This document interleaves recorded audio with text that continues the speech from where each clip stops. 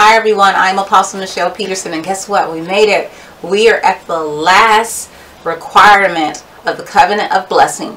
For those who want to enter into this covenant with the Lord, uh, there are 13 requirements of us uh, to enter into this covenant. And so we are on the 13th one today. And if you haven't checked out the other 12, uh, I will link the video here.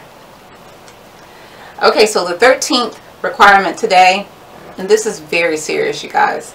This requirement that the Lord said for us is do not murmur and complain. Did you guys know murmuring and complaining is a sin? Mm. Corinthians, 1 Corinthians 10.10, 10, Neither murmur ye, as some of them also murmured and were destroyed of the destroyer.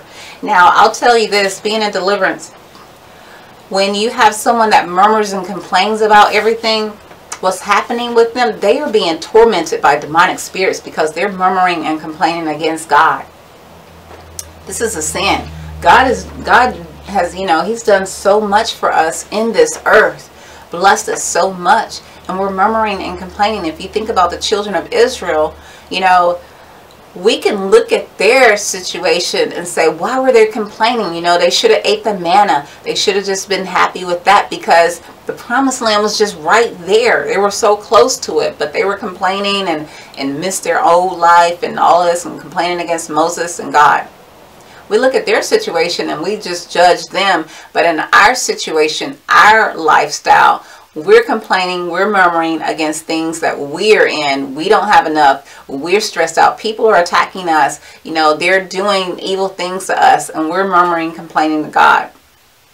It's the same exact thing as the children of Israel. You know, God, I mean, you know, God is taking care of us. He's doing so much, you know, good uh, for us. And for us to come to him and murmur and complain about a situation, no matter no matter how big it is, you know, that's a sin. That's totally wrong.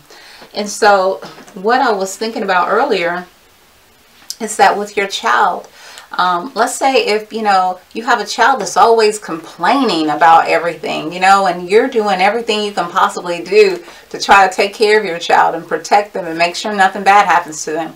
But they're just constantly complaining. Nothing's ever right. It's always something wrong. Whatever you're doing, you know, trying to do something good, you know, it's always something wrong. It's never enough. It's never good enough.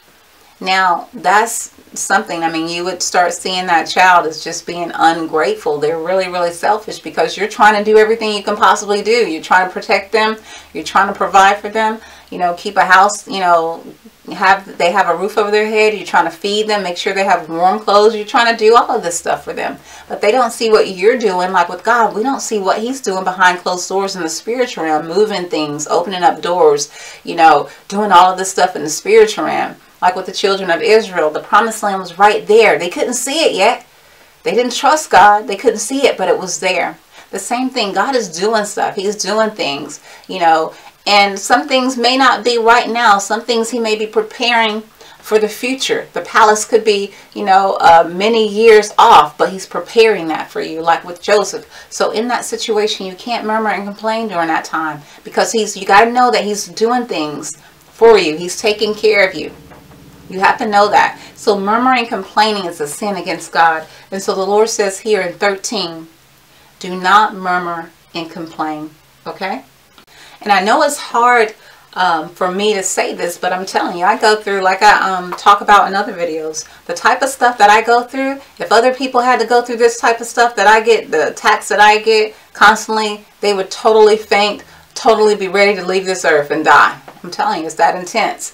But, but we really have to try to believe that God is taking care of us no matter what is going on. We have to truly believe that and trust that. And God has proven that to me so many times. I've seen him physically protect me, you know, you know, when it was a time where, you know, I could have been destroyed. Him giving me warnings constantly that there were traps for me. You know, even when I first became a Christian, he told me that, you know, that I couldn't backslide. I couldn't backslide because if I backslide, if I went back to my old life, the enemy had a trap for me and the enemy was going to kill me. The enemy was going to kill me. You know, the enemy's been trying to kill me from a lot, But the Lord has proven over and over again that he is protecting me. He is taking care of me because I have a purpose. I have a destiny. You have a purpose. You have a destiny. Trust the Lord is going to take care of you regardless on what it looks like right now. You know, he's going to take care of you. Trust him. You know, count everything all joy. Rejoice in the situation that you're in right now. I know it may be hard. Put on some worship music. Try to take your focus off. Ask God to help you take that focus off whatever's going on.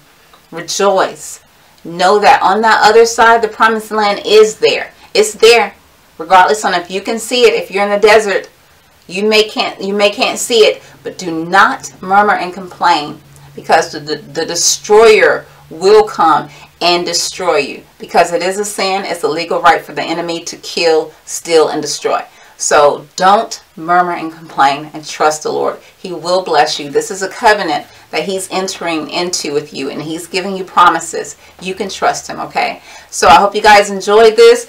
And um, I may do a little bit more teachings from this covenant, but there is a second covenant.